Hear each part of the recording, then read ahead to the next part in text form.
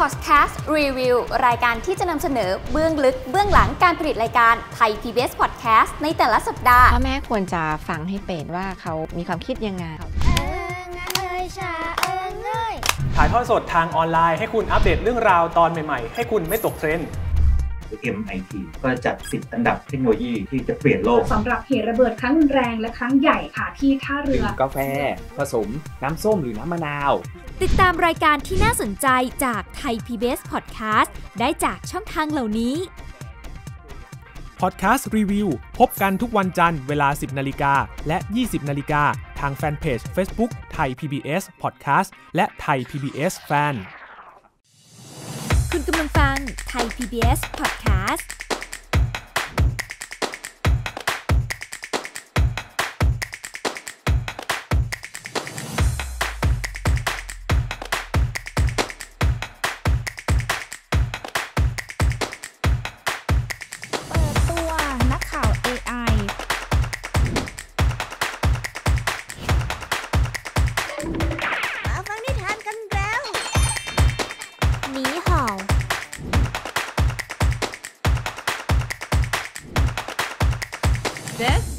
Thai PBS Podcast. View the world via the voice.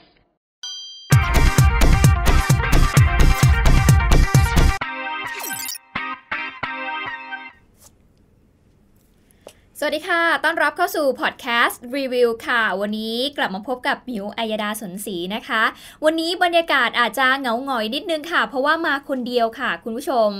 ช่วงนี้สถานการณ์โควิด ก็ทำให้เราต้องห่างไกลกันนะคะ ดังนั้นน้องยีนทรณินเทพวงศ์ก็เลยต้องงดเอาไว้ก่อน แต่ว่าสัปดาห์หน้าสามารถที่จะเจอกับน้องยีนได้นะคะ เราก็จะสลับสับเปลี่ยนหมุนเวียนกันมาเจอคุณผู้ชมแบบนี้ ในทุกๆ วันจันทร์เวลา 10นาฬิกาและรับชมกันอีกครั้งเวลา 20นาฬิกาค่ะ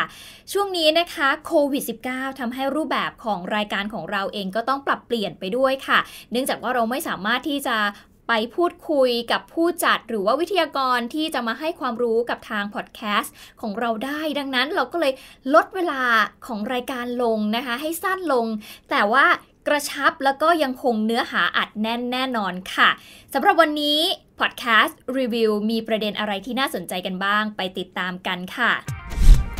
ทย PBS Podcast ค่ะ จัดเพลย์ลิสต์ต้อนรับเดือนของวันเด็ก ในยุค New Normal นี้นะคะ จัดเพลย์ลิสต์นิทานไปเลยแบบเต็มอิ่มค่ะ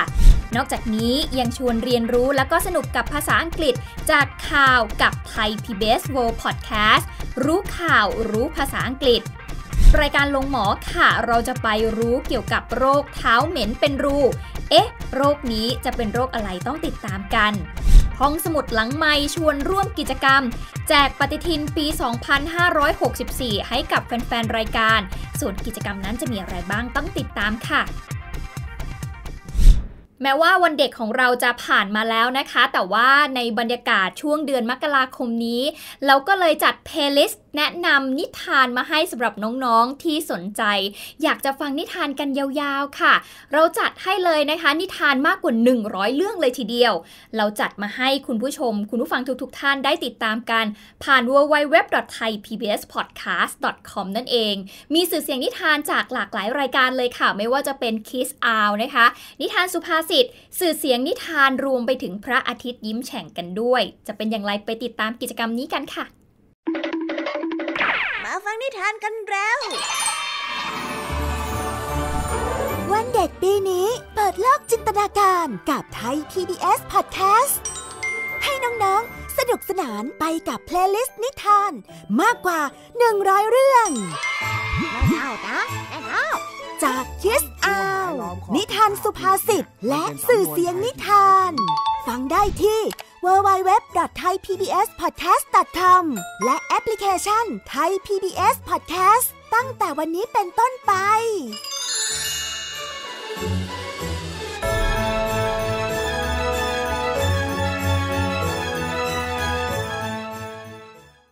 นนี่ก็เป็นเพลย์ลิสต์คร่าวๆนะคะ ที่คุณผู้ชมคุณผู้ฟังสามารถเข้าไปติดตามกันได้สามารถเปิดให้น้องๆฟังได้ยาวๆเลยนะคะ เพราะว่านิทานของเราเนี่ยเยอะมากๆเลยละค่ะ มากกว่า 100 เรื่องเลยทีเดียวนะคะ นอกจากนี้ใครอาจจะยังไม่เคยฟังจากไทย PBS Podcast ของเรานะคะ เรามีตัวอย่างนิทานบางช่วงบางตอนจากรายการ Kiss Out มาให้คุณผู้ชมคุณผู้ฟังได้ติดตามกันด้วย จะเป็นอย่างไรลองไปฟังนิทานพลังมดกันค่ะกันละครั้ง หนึ่งในป่าใหญ่ สิงโตตัวหนึ่งบังเอิญเดินไปเหยียบรังมดแดง หัวหน้าของมดแดงจึงได้ไต่ขึ้นไปที่ข้างหูของสิงโต แล้วได้เอ่ยกับเจ้าสิงโตไปว่า นี่ท่านสิงโตเจ้าป่า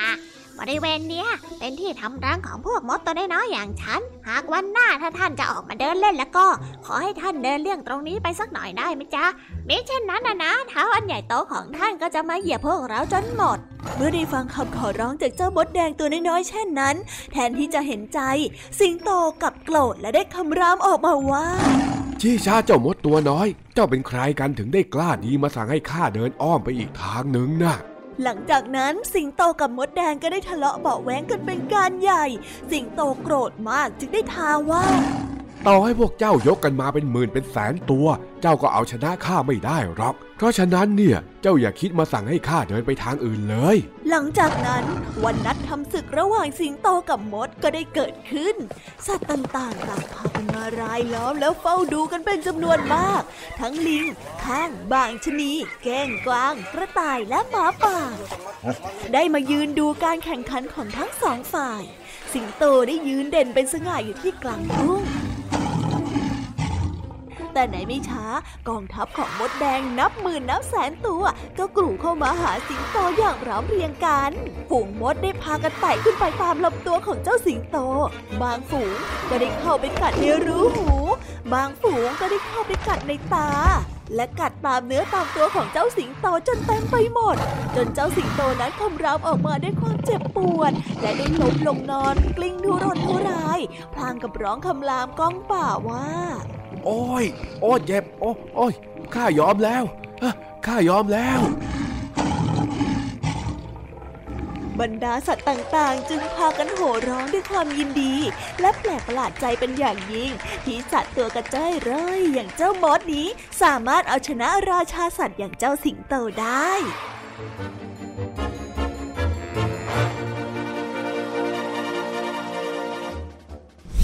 นี่ก็เป็นนิทานจากรายการ Kiss Out นะคะ เป็นเพียงแค่หนึ่งเรื่องเท่านั้น แต่ว่า Kiss Out เนี่ยมีอีกหลายเรื่องเลยทีเดียวที่จะให้ทุกคนเนี่ยได้ติดตามกันนะคะ ก็สามารถเข้าไปคลิกฟังได้จากเพลย์ลิสต์ที่เราแนะนำหรือว่าจะเข้าไปฟังในรายการก็ได้ ผ่านเว็บไซต์ของเรานั่นเองค่ะ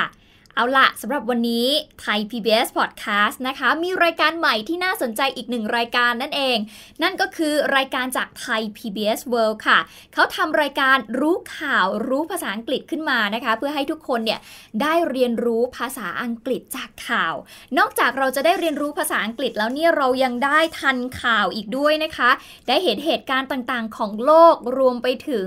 ได้ฟังคำพูดของบุคคลสำคัญ ซึ่งเราจะนำเอาคำศัพท์หรือว่าคำที่อยู่ในข่าวเนี่ยแหละค่ะ มาพูดคุยให้ฟังนะคะ ก็จะได้รู้ทั้งข่าวรู้ทั้งภาษาอังกฤษนะคะ ดังนั้นวันนี้ค่ะเราจะมาพูดคุยกับคุณเทพชัยหย่อง แล้วก็คุณนัทถาโกมูลวาทินนะคะ ซึ่งจะมาประจำการในรายการรู้ข่าวรู้ภาษาอังกฤษ แนะนำรายการกันค่ะ สวัสดีค่ะ คุณผู้ชมคุณผู้ฟังคะช่วงนี้คุณผู้ฟังก็อาจจะเริ่มได้ยินรายการใหม่ที่ดิฉันและคุณเทพชัยหย่องได้เริ่มมาจัดกันแล้วนะคะ รายการรู้ข่าวรู้ภาษาอังกฤษทางไทย PBS Podcast คนที่ตั้งชื่อก็คือคุณเทพชัยหย่องเลยค่ะทำไมถึงตั้งชื่อนี้คุณเทพชัยครับสวัสดีครับ ทุกวันนี้มันมีเรื่องราวเกิดขึ้นในโลกเหล่านี้มากมายนะครับและเกือบทุกเรื่องเนี่ยจริง ๆ แล้วถ้าเรามองให้ดีมันจะมีผลกระทบต่อประเทศไทยไม่มากก็น้อยนะครับ แล้วก็เรื่องเหล่านี้มันมีความน่าสนใจ แล้วในเวลาเดียวกันเราก็เชื่อว่ามันเป็นโอกาสเหมาะที่เราจะเรียนรู้ นอกจากเรื่องข่าวแล้วเนี่ยเราสามารถเรียนรู้การใช้ภาษาอังกฤษจากข่าวเหล่านี้ได้นะครับเพราะว่าเวลาเราอ่านข่าวเนี่ยมันจะมีสับแสงมีวลีที่มันมีความตื่นตาตื่นใจ เป็นทำให้เราเห็นภาพทำให้เราเข้าใจเหตุการณ์ของโลกเนี่ยได้มากขึ้น แล้วที่สำคัญก็คือเป็นสับแสงที่เราเชื่อว่ามันสามารถนำมาใช้ ในการสนทนาเป็นภาษาอังกฤษในชีวิตประจำวันได้ค่ะ ก็ไม่ได้หมายความว่าเรามาสอนภาษาอังกฤษโดยตรง แต่ว่ามาเล่าข่าวให้ฟังทำให้คุณผู้ฟังคุณผู้ชมได้เข้าใจข่าว แล้วก็ได้เรียนรู้ศัพท์และวลีไปด้วยนะคะ คือได้2อย่างพร้อมกันไปเลยนะครับอันดับแรกก็คือแน่นอนได้ข่าวคราวนะครับติดตามเหตุการณ์ที่เกิดขึ้นในประเทศต่างๆ แล้วก็เวลาเดียวกันก็เออ ก็ได้เรียนรู้สับแสงภาษาอังกฤษที่เราสามารถนำมาดัดแปลงมามาประดิษฐ์ประดอยมาใช้ในการสนทนาเป็นภาษาอังกฤษได้นะครับ ก็ถือว่าเป็นเป็นการฟังแล้วก็ได้สองอย่างพร้อม ๆ กันไปในเวลาเดียวกันเลยค่ะ ก็จะได้ช่วยคุณผู้ฟังคุณผู้ชมให้เพิ่มคลังศัพท์ เพิ่มวลีและเพิ่มความเข้าใจในการติดตามข่าวสาร ทั้งในระดับโลกในระดับภูมิภาคด้วยนะคะ เพื่อที่จะได้ติดตามข่าวกันได้อย่างสนุกมากขึ้นนะคะ The scenes of chaos at the Capitol do not reflect a true America. It's not protest, it's insurrection. น่าสนใจคำสุดท้ายค่ะ คุณเทพชัยที่โจไบเดนบอกว่าจะต้องหยุดพฤติกรรมที่เรียกว่า insurrection ขอให้ทรัมป์หยุดพฤติกรรมนี้ได้แล้วโจไบเดนบอกว่าเหตุการณ์ที่เกิดขึ้นเนี่ยมันไม่ใช่เป็น protest คำว่า protest เราคงจะคุ้นเคยนะครับแปลว่าการประท้วงกัน แต่ว่าโจไบเดนเรียกเหตุการณ์ที่เกิดขึ้นว่าเป็น insurrection นะครับ สะกด I N S U R R E C T I O N นะครับ ซึ่งแปลว่าการกบฏ หรือว่าในที่นี้คงจะหมายถึงว่าเหตุการณ์จราจน ไม่ใช่เป็นการชุมนุม ไม่ใช่เป็นการประท้วง แต่เป็นเหตุจราจนแล้วนะครับโจไบเดนเจตนาใช้คำนี้ให้เห็นชัดเจนเลยนะครับว่าสิ่งที่ทรัมป์พยายามจะบอกว่านี่เป็นการแสดงออกเพื่อเรียกร้อง ปกป้องประชาธิปไตยเนี่ยมันไม่ใช่ มันเป็นเหตุจราจนนะครับ และติดตามรู้ข่าวรู้ภาษาอังกฤษกันได้ ทุกวันอาทิตย์ทางไทย PBS Podcast นะคะ เวลา 11นาฬิกาค่ะ พบกับคุณเทพชัยยอง และดิฉันนัทธาโกโมลวาทินค่ะ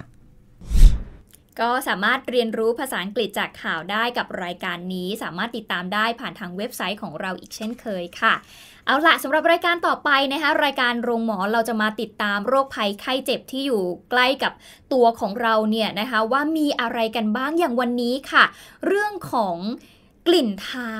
กลิ่นที่ไม่พึงประสงค์นะคะ ใครมีปัญหานี้กันบ้างนะคะ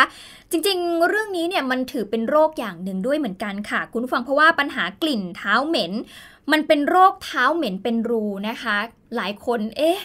ทำยังไงดี พอมีกลิ่นเท้าแล้วก็รู้สึกไม่มั่นใจตัวเองเลยนะคะ แล้วก็ไปไหนมาไหนไม่ค่อยอยากจะถอดรองเท้าสักเท่าไหร่ แต่พอต้องอยู่ในสถานการณ์ที่ต้องถอดรองเท้าจริง ๆ โอ้โห พอกลิ่นมานี่ทำให้คนที่อยู่รอบข้างนี่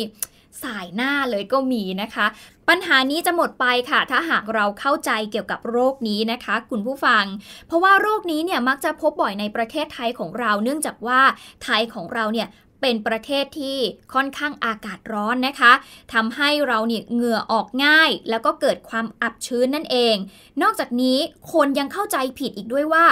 การมีกลิ่นเท้าหรือว่าเป็นโรคเท้าเหม็นเนี่ยเกิดจากการเป็นเชื้อรา แต่ความจริงแล้วนะคะ โรคนี้เกิดจากเชื้อแบคทีเรียค่ะ คุณผู้ฟัง พบมากในอาชีพที่ต้องสวมใส่รองเท้าที่มันจะอับชื้นนะคะ อย่างเช่น รองเท้าหุ้มส้นหรือว่ารองเท้าบูทอย่างอาชีพ ทหาร นักวิ่ง นักกีฬา เกษตรกรหรือว่าชาวประมงนะคะ อาชีพเหล่านี้ก็ มีความเสี่ยง และส่วนใหญ่ก็น่าจะมีปัญหานี้อยู่บ้าง จะเป็นอย่างไรไปติดตามบางช่วงบางตอนจากรายการโรงหมอค่ะ ปัญหาเท้าเหม็นเนี่ย เดิมเนี่ยอาจจะมีความเชื่อกันผิดๆว่ามันอาจจะเกิดจากเชื้อราหรือเปล่าอะไรเงี้ยนะครับ แต่จริงๆแล้วเนี่ยปัญหาเท้าเหม็นหลักๆเนี่ยเราเชื่อว่ามันเกิดจากเชื้อแบคทีเรียนะครับ โดยแบคทีเรียที่มันทำให้เกิดเนี่ยมันเป็นแบคทีเรียที่เป็นแบคทีเรียที่ประจำถิ่นบนผิวหนังของเราอยู่แล้วก็คือแบคทีเรียประจำถิ่นเนี่ยคือบนผิวหนังเราปกติ จะมีแบคทีเรียอยู่หลายประเภทครับขึ้นกับตามบริเวณ ของผิวหนัง เช่นที่หน้าที่ตัวที่ข้อพับขาหนีบหรือที่ฝ่าเท้าเนี่ยก็จะมีแบคทีเรียต่างกลุ่มต่างชนิดกัน โดยทั้งนี้เนี่ยขึ้นกับความชื้น ความมันหรือสภาพพื้นผิวอะครับ โดยบริเวณที่มีความมันเยอะๆ แบคทีเรียก็จะเป็นกลุ่มหนึ่งบริเวณที่มีความชื้นเยอะๆ แบคทีเรียก็จะเป็นกลุ่มหนึ่งส่วนบริเวณที่แห้ง โดยเฉพาะฝ่าเท้าของเราอะนะครับ เราจะถือว่าเป็นบริเวณที่แห้ง บริเวณที่แห้งเนี่ยก็จะเป็นแบคทีเรียอีกกลุ่มหนึ่งแต่เมื่อใดก็ตามเนี่ยที่ร่างกายมันเกิดความเสียสมดุลนะครับ เช่น บริเวณที่มันแห้งมันเกิดมีความชื้นมากขึ้น ความมันมากขึ้นผิดปกติ แบคทีเรียที่มันอยู่ประจำถิ่นตรงเนี้ยก็เสียสมดุลไป พอมันเกิดความเสียสมดุลปุ๊บ มันก็ทำให้แบคทีเรียบางตัวที่เราไม่ต้องการเนี่ยมันแบ่งตัวเพิ่มมากขึ้นผิดปกติค่ะทำให้มันเกิดเป็นโรคขึ้นมาได้อะครับค่ะโดยบางคนเนี่ยถ้าเป็นน้อยๆเนี่ยอาจจะมีแค่กลิ่นเหม็นขึ้นมาตามปกติ ซึ่งมันเกิดจากการที่แบคทีเรียเนี่ยมันกินกัดกินชั้นขี้ใครแล้วก็สร้างให้เกิดสารขึ้นมาบางประเภท ซึ่งสารเหล่านี้นะครับก็จะทำให้เกิดกลิ่นผิดปกติได้ค่ะแต่หากที่มันเป็นมากขึ้นแบคทีเรียมีปริมาณมากขึ้น ความอับชื้นเป็นเวลานาน มันก็ทำให้เกิดเป็นหลุมขึ้นมาได้นะฮะอืมโดยหลุมที่มันเกิดขึ้นเนี่ยมันเกิดจากการที่ชั้นขี้ใครขึ้นมันหนาๆครับที่ฝ่าค่ะมือฝ่าเท้าเราเนี่ยนะครับโดยเฉพาะที่ฝ่าเท้าเนี่ยชั้นขี้ใครก็จะหนากว่าผิวหนังทั่วไปมันก็จะเห็นว่ามันเป็นนูนขึ้นแล้วแบคทีเรียที่กินชั้น ขี้ใครของเราเนี่ยก็จะค่ะเห็นลักษณะเป็นรูเป็นหลุมเป็นหลุมขึ้นที่ฝ่าเท้าเราได้ครับ ค่ะเหมือนกับว่าแบคทีเรียพวกนี้คือกินชั้นคลี่คลายของเราเป็นเหมือนเป็นอาหารอย่างนั้นไหมคะ ใช่ครับลักษณะนั้นครับค่ะมันมันแบ่งตัวแล้วก็อยู่อาศัยของมันอยู่บริเวณที่ชั้นขี้ใครของเราอะครับก็เป็นอีกหนึ่งโรคที่น่าจะเป็นปัญหากวนใจสำหรับใครหลายคนนะคะสำหรับโรคนี้อาจจะต้องหาวิธีในการดูแลรักษาหรือว่ารองเท้าเนี่ยก็ต้องทำให้มันสะอาดอยู่เรื่อยๆนะคะ จะได้ไม่สะสมแบคทีเรียนั่นเองนะคะสำหรับโรงหมอค่ะ 7 วัน 7 โรคของเราวันนี้มีอะไรให้ได้ติดตามกันบ้างนะคะ วันจันทร์ค่ะ รู้ว่าไม่ดีแต่ก็ยังกินมีใครเป็นบ้างนะ รู้ว่า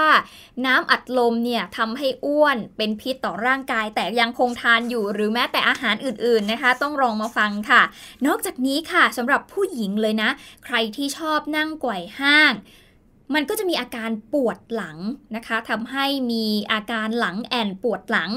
ต้องมาฟังสำหรับวันอังคารค่ะ และนอกจากนี้ซ่วมวิถีใหม่ห่างไกลโลก เรื่องนี้เป็นเรื่องที่อยู่ในชีวิตประจำวันของเราอยู่แล้วนะคะ ก็สามารถติดตามกันได้ และนอกจากนี้ใช้สัตว์เลี้ยงสอนเด็กอย่างไรให้มีจิตใจอ่อนโยน อันนี้น่าสนใจมาก ๆ จะเป็นอย่างไรต้องติดตามกับ 7 วัน 7 โรคกับรายการโรงหมอค่ะ อีกหนึ่งกิจกรรมดีๆ จากรายการห้องสมุดหลังไม้นะคะ มีใครบ้างที่ยังไม่ได้ปฏิทินปี 2564 ยกมือขึ้น เชื่อว่าปฏิทินเป็นอีกหนึ่งสมบัติที่หายากในช่วงนี้มีใครเป็นเหมือนหมิวหรือเปล่านะคะ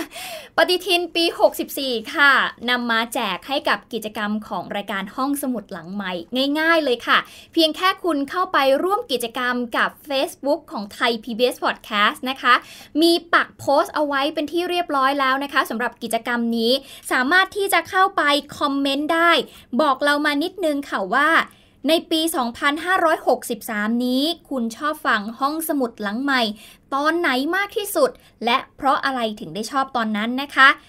ผู้ใดที่เขียนเหตุผลได้โดนใจทีมงานห้องสมุดหลังไม้มากที่สุด 10 ท่าน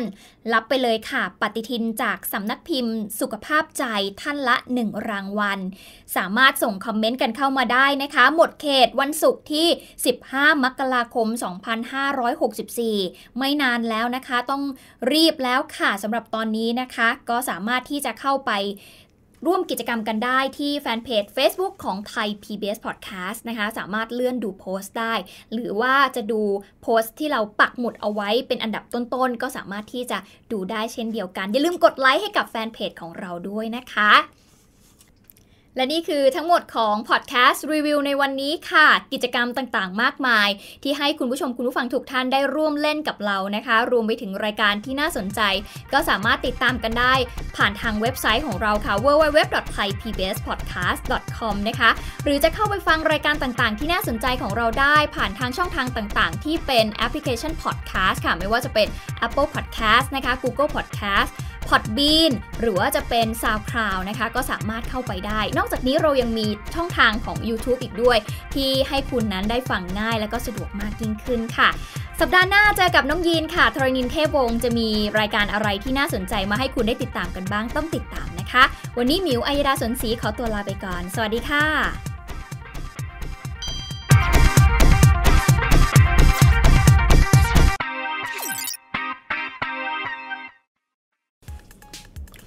สวัสดีปีใหม่ค่ะ ขอให้ทุกท่านนะคะ มีความสุขแล้วก็สนุกในโลกวิทยาศาสตร์ และเทคโนโลยีค่ะ เพราะเรื่องราวเหล่านี้ค่ะไม่ได้อยู่ไกลเลยค่ะ อยู่ใกล้ๆรอบตัวคุณนั่นเองนะคะ แน่นอนนะคะว่า Science Tech Weekly Update ในสัปดาห์นี้ค่ะ ก็จะรวบรวมเอาเทคโนโลยีเด่น หรือว่าเทคโนโลยีเจ๋งๆนะคะ ในรอบปีที่ผ่านมา รวมถึงข่าวคราวในวงการอวกาศวงการดาราศาสตร์เนี่ยมาฝากทุกท่านด้วยนะคะ และแน่นอนค่ะว่าปีเก่าผ่านไปค่ะ ปีใหม่ต้องก้าวไปต่อไม่รอแล้วนะคะ เพราะว่ายังมีหลายอย่างที่ต้องน่าจับตามองด้วยค่ะ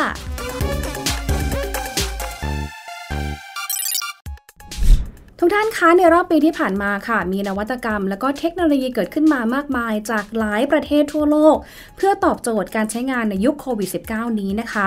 โดยเฉพาะการเติบโตของระบบ 5G ที่ใช้ร่วมกับ AI หรือว่าปัญญาประดิษฐ์ที่มีความสะดวก และก็รวดเร็วแม่นยำมากยิ่งขึ้นด้วยค่ะนอกจากนี้นะคะในรอบปี 2020 ที่ผ่านมา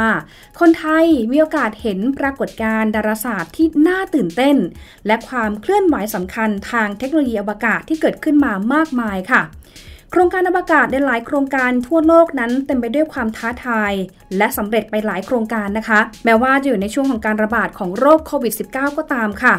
โครงการอวกาศต่างๆ นี้จะเป็นความรู้พื้นฐานสำคัญ เพื่อปูทางสู่ความก้าวหน้าต่างๆ ในชีวิตประจำวันของเราด้วยนะคะ ซึ่งในปี 2021 หรือว่าปีนี้ค่ะ เป็นอีกปีที่คาดการณ์ว่า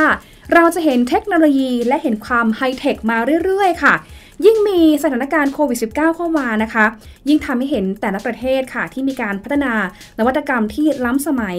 ช่วยลดการสัมผัส และช่วยตรวจพฤติกรรมของคน ให้รักษาระยะห่าง แล้วก็ยังมีหุ่นยนต์เจ๋งๆ อีกหลายตัวค่ะ ที่มาเต้นลดเล่นในช่วงปีใหม่นี้ด้วยค่ะ ไปลองเต้นด้วยกันนะคะ